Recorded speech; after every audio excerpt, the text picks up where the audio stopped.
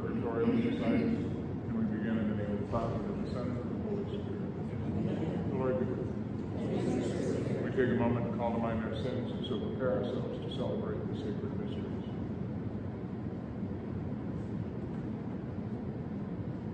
I confess to Almighty God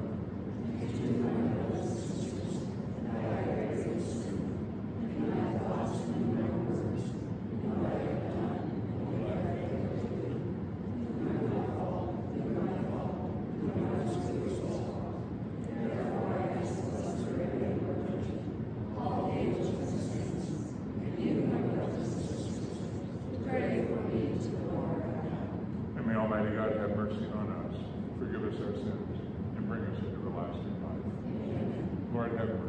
Lord, have. Christ, have. Lord, have mercy. And let us pray. God of might, giver of every good gift, put into our hearts the love of your name, so that by deepening our sense of reverence, you may nurture in us what is good, and by your watchful care, keep safe what you have nurtured through our Lord Jesus Christ, your Son, who lives and reigns with you in the unity of the Holy Spirit, God forever and ever.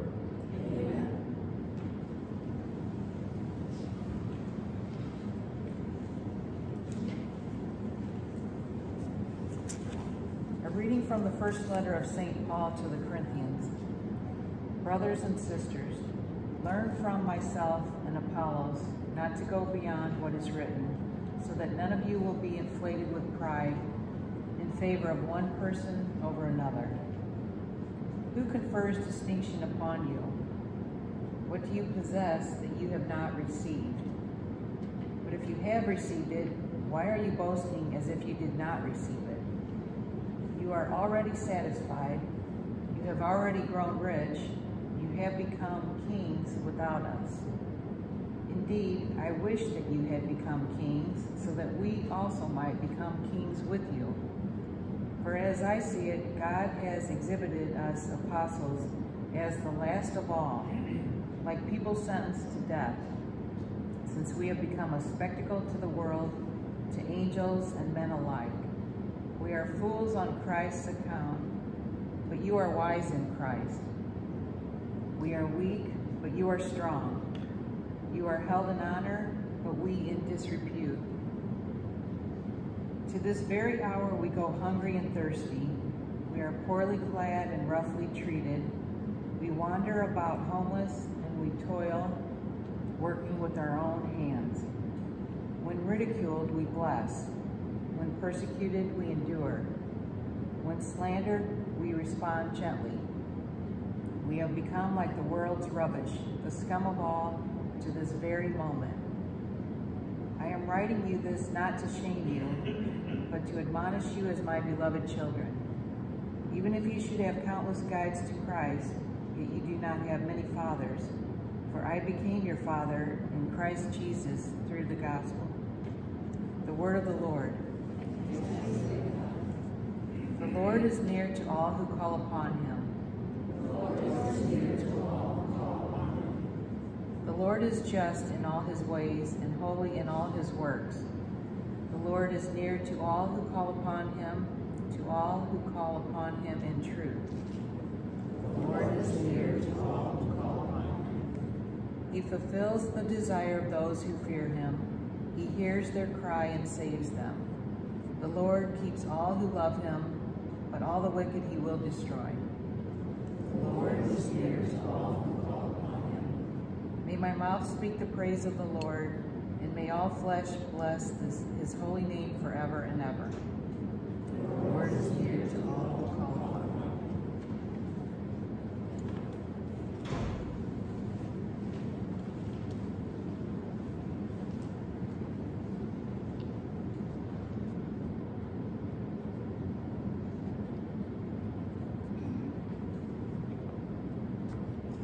him. Alleluia, alleluia. I am the way and the truth and the life, says the Lord. No one comes to the Father except through me. Alleluia, alleluia. The Lord be with you. A reading from the Holy Gospel according to Luke. While Jesus was going through a, grain of, a field of grain on a Sabbath, his disciples were picking the heads of grain, rubbing them in their hands and eating them. Some Pharisees said, Why are you doing what is unlawful on the Sabbath? Jesus said to them in reply, Have you not read what David did when he and those who were with him were hungry? How he went into the house of God, took the bread of offering, which only the priests could lawfully eat, ate of it, and shared it with his companions? Then he said to him, said to them, The Son of Man is Lord of the Sabbath. The Gospel of the Lord.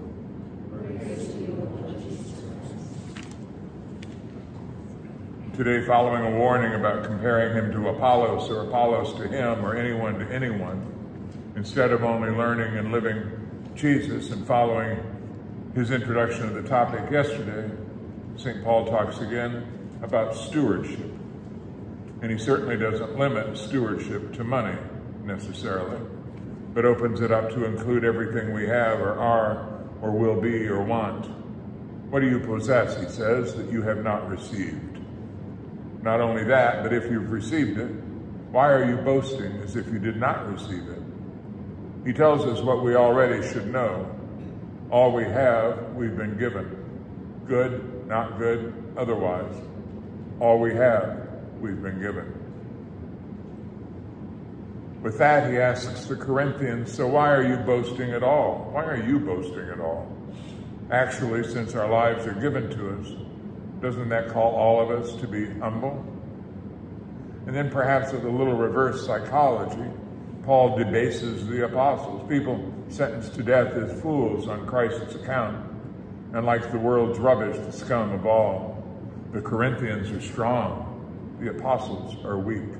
The Corinthians are held in honor, the apostles in dishonor. But maybe it's not about reverse psychology so much as it is about irony or sarcasm or sticking in the sword and twisting it a bit. Maybe he's making the Corinthians think, really think, and take stock of themselves as men and women of faith, or sort of faith, or real faith, or young faith, or mature faith. Maybe he's taking, having them take stock of themselves and see how they really measure up, given the givenness of all they have and are. Maybe he's guiding them to growth in the spiritual world, in the life of the Spirit. Maybe he's giving them the map to heaven. Maybe it starts with humility. Maybe it's each of those things. And maybe it's all of that. Maybe.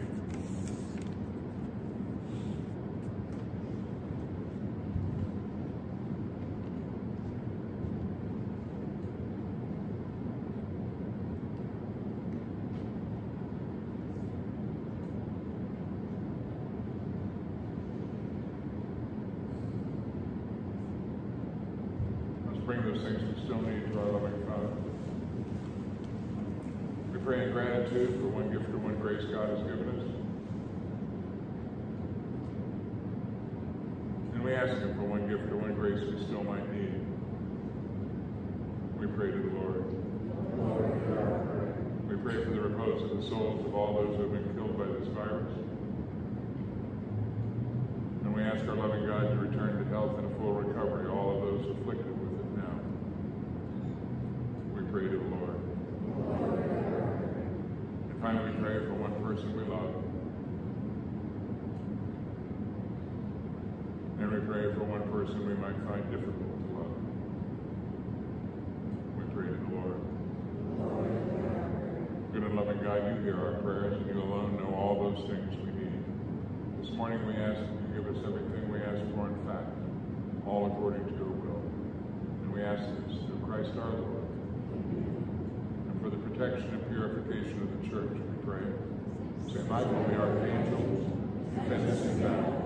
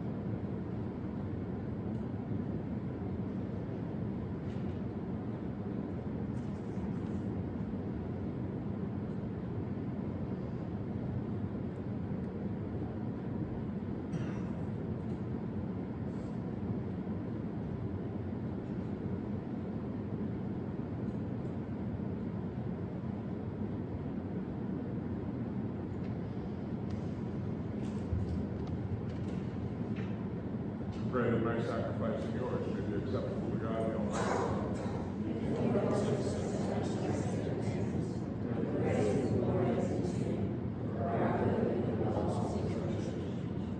May this sacred offering, O Lord, confer on us always the blessing of salvation, that what it celebrates in history it may accomplish in power. Through Christ our Lord. The Lord be with you. Lift up your hearts. Let us give thanks to the Lord our God. It is truly right and just, our duty and our salvation, always and everywhere to give you thanks. Lord, Holy Father, Almighty and eternal God, through Christ our Lord. His death we celebrate in love. His resurrection we confess with living faith. And his coming in glory we await with unwavering hope. And so with all the angels and saints we praise you, as to end we acclaim. Holy, holy,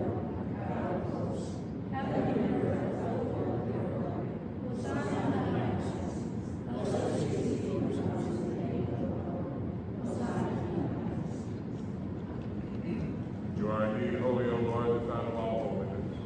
Make holy, therefore, these gifts, we pray, by sending down your Spirit upon them like the dewfall, so that they may become for us the body and blood of our Lord Jesus Christ.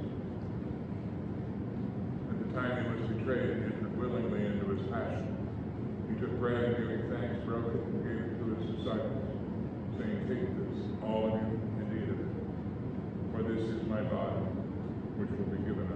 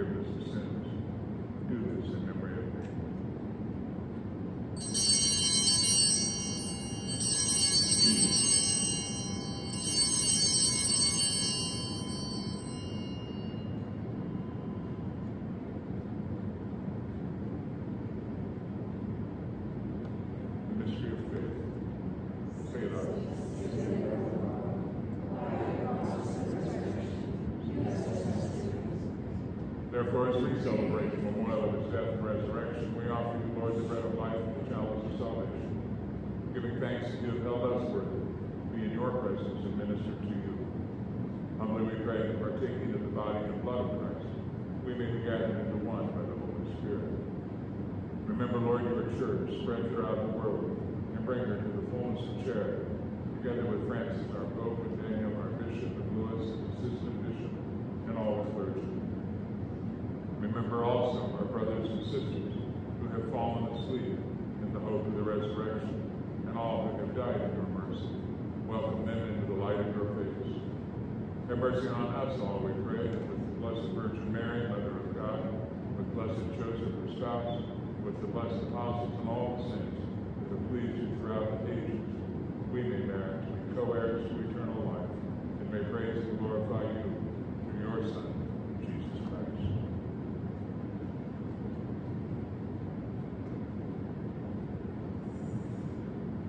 through him and with him and in him. O God, Almighty Father, in unity of the Holy Spirit, all glory and honor is yours forever and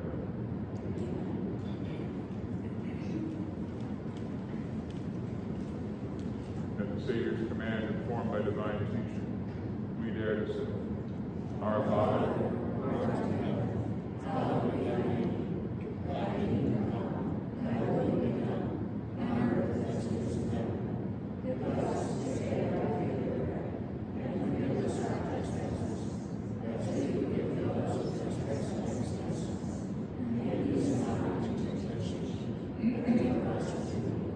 Deliver us, Lord, we pray, from every evil. Graciously grant peace in our days, that by the help of your mercy we may be always free from sin and safe from all distress, as we await the blessed hope and the coming of our Savior, Jesus Christ. Lord Jesus Christ, you said to your apostles, Peace I leave you, my peace I give you. Not on our sins, but on the faith of your church, and graciously grant her peace and unity, in accordance with your will, who live and reign forever and ever. Peace of the Lord be with you always. Lamb of God.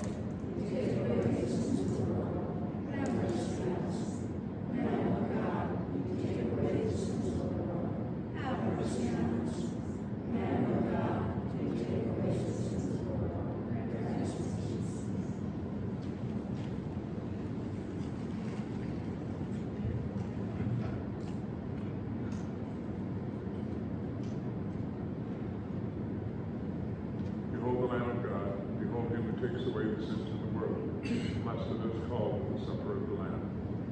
Lord,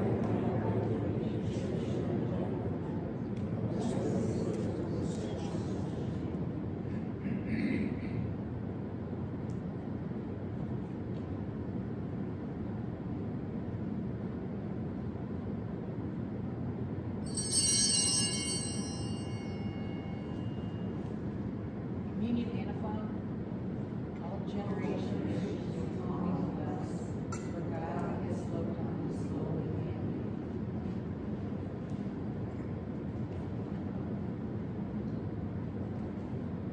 for the distribution of communion.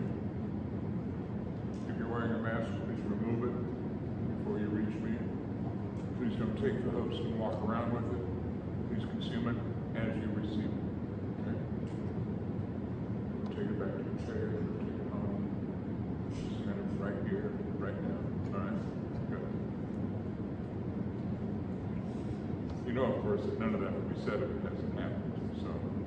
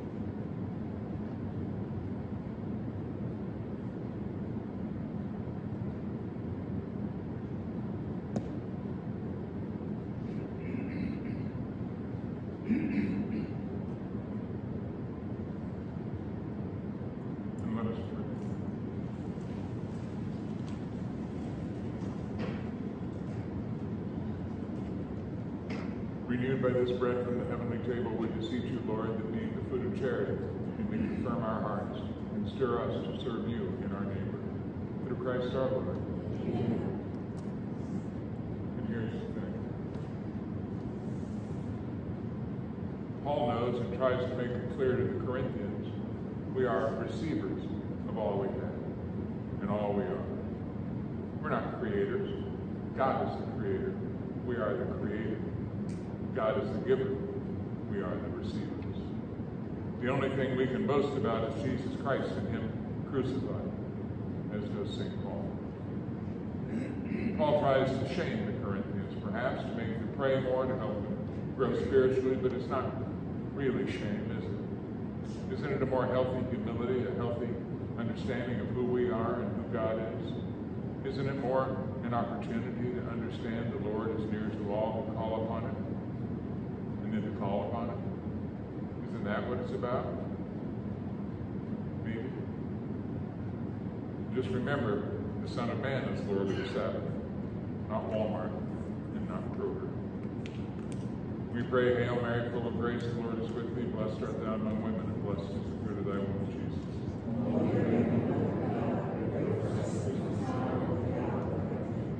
The Lord be with you. May Almighty God bless you. The Father, and the Son, and the Holy Spirit.